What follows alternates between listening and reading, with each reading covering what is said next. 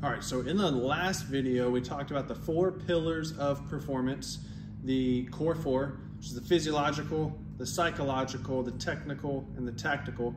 And these are the four main areas when it comes to really performance in any sport or really any domain. It could be on the business side, uh, it could be in, you know, in a different profession, but we're gonna talk about it on the baseball side of things. And I really like to start guys off on the physiological, which is really everything encapsulating the physical in the body. So this is the strength conditioning, this is nutrition, this is the recovery, this is your uh, rehab exercises, you know, your movement, your mobility, all these kinds of things that make up your body. And this is a deep subject that we could really talk about in depth for many different videos. Today, what we're gonna really just gonna cover, you know, I've got a board behind me that you can probably see that um, I put together recently a workout for some of our baseball boys here, and I'm going to walk you through kind of the different pieces, the different layers of what we do for our typical workout routine and some things that may or may not, that you may or may not already be doing in your workout routine. So let's take a look at that and see how it stacks up to where you're at and understand that all of the pieces of this are interchangeable and really should be customized where you're at, where your body's at, what you need, and that the stuff here isn't necessarily what you need to be doing. If you want something, uh, you know, a more of a kind of a structured workout program, by all means, leave a comment below. Uh, we're here in October, middle of October right now. Today's actually Friday the 13th, and get, getting geared up for the spring season. I mean, that's coming right around the corner before you know it. So guys should already be getting into their fall off-season training program. So if you're looking for something like that, leave a comment below and I'll put something special together for you guys. So let's take a look at this. All right, so uh, hopefully, you know, this green might, with this lighting here, might be a little bit off. If it is, I apologize. But we're starting out with the rollout. This is our soft tissue work, kind of your self-massage side of things. Usually we use a lacrosse ball for that. Don't worry about all the specifics of this. It's really the big kind of categories of the session. So I've really broken this one down into seven different pieces. So the first one, we start off with the soft tissue work, just rolling out, getting that moving better, working in through any knots, adhesions, that side of things.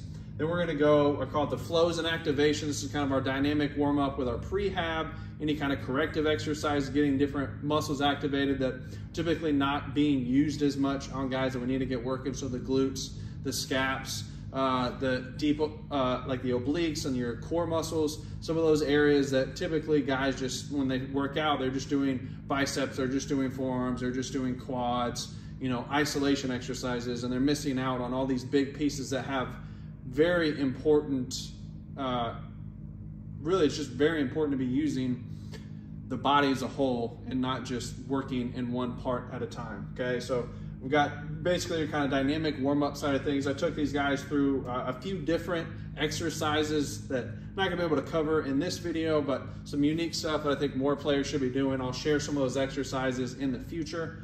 Then we went into some arm care work, uh, just a lot of scap exercises, A's, T's, and Y's. Uh, really teach them how to activate some of that stuff and getting all of the shoulder muscles, your serratus, your rotator cuff, uh, your lats, getting all these muscles working and trying to stabilize while they're moving through these exercises. Too many guys just do basic band exercises like this and your rotator cuff is really more of a stabilizer than it is an accelerator. And when you're doing these, you're just trying to really strengthen the rotator cuff, but we need to be doing them in a more dynamic way, in a way that is supporting the shoulder and your shoulder blade while it's moving, okay? So uh, did, took them through some arm care work, and then we did our speed and our power work. So we took them through some jumps, took them through some sprints and some hops, some med ball side of things. So other one I call the athletic gait. So G-A-I-T, not gate like a you know gate or a door.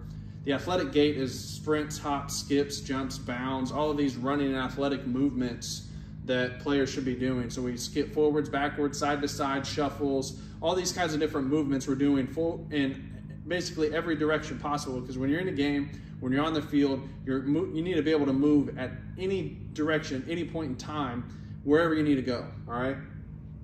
The strength side of things, okay? So it's kind of the meat and potatoes of most workouts that most people will go to, and they may not do this stuff up here. Or they may do like a warm up and then skip the speed and the power work and go straight to this or however it is. The, I like to really make sure the guys are hitting all of these seven pieces of, of a good workout routine. Some, some of the other things we'll add into here uh, that it's, it's noted in here is some breathing exercise. So really teaching the body how to use the diaphragm, how to breathe deeply before we really start ramping up all, and this is part of the deep core stuff that I was talking about earlier, before we start ramping up all the workouts because every rep that you're doing, you're increasing your heart rate, you're increasing the amount of breaths that you have to take. So we want to make sure that you're really breathing properly while you're doing this stuff, okay? So uh, I'm taking most guys through supersets with this stuff. So we're doing upper body, pairing it with a lower body exercise and either add in a core exercise at the end of it or doing mobility exercise,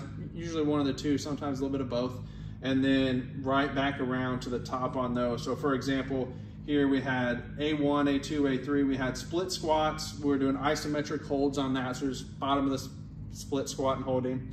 Then we did uh, TRX or inverted rows and then finished off with some kneeling groin openers uh, for some hip mobility. And then you circle back to the top. You have three sets of that. Then we got a B series, similar thing on that side of things. Finished off with some core work, did a couple, three exercises on that one and then nice little cool down, doing some good stretches, working all the muscles uh, that we just hit. So usually stretching out the lats, doing bar hangs. Uh, we'll do like do, uh, down dog and child's pose, do like a pec stretch uh, against the rack. Uh, I like the legs up the wall where you're just like laying flat on your back with your legs flat up against the wall and just letting the blood come down, letting your body breathe. And you can open up the legs out to the side so you're out like a V and really get a good stretch in the groin, open that up. So anyways, I wanted to keep this video short just to give you a breakdown of what this kinds of look, what this kind of looks like. And so you can start to structure your own workouts in these ways. And then all it is is just plug and play. Okay, what rollout pieces, what parts of the body do I need to roll out today? All right. Uh, what parts of the body do I need to really make sure I got activated for today's workout? What's the main part of this? And then we kind of want to work backwards from there. Oh, I'm doing a lot of, you know, pushing stuff today. I want to make sure uh, that I've got my pecs activated, my shoulders activated, you know, I got all that loosened up, the traps rolled out, all that side of things taken care of. It's lower body stuff. I'm gonna do more lower body, get the glutes going, get the hamstrings going, get the adductors going, make sure all that's fired up, the core's fired up. Just depends on what the day is. Uh, and then making sure that really you're getting all of these pieces and not every day needs to necessarily be all of these, right? Some days it may just be more of a strength day where you're scrapping the, the power and the plyo work and vice versa. You may not have a heavy strength day, you're just doing a lot of speed plyo stuff, or it could be a recovery kind of day. Every day should be a little bit different depending on you know what your goals are, what time of the year it's at, what your training levels are. Okay, everybody's different in their training experience, so that doesn't mean everybody needs to be doing the same kind of workouts. So uh, this is a structure I like that I work off of. This isn't necessarily something that is the gold standard that everybody has to do or you don't have a great workout routine. But this is a great place to start, and you can go and start looking up different exercises to do. Uh, plenty of free stuff on the internet to find out what where what you can do for each of these kind of different categories. You may already have some stuff in mind. If you got questions on this stuff, by all means, leave a comment below.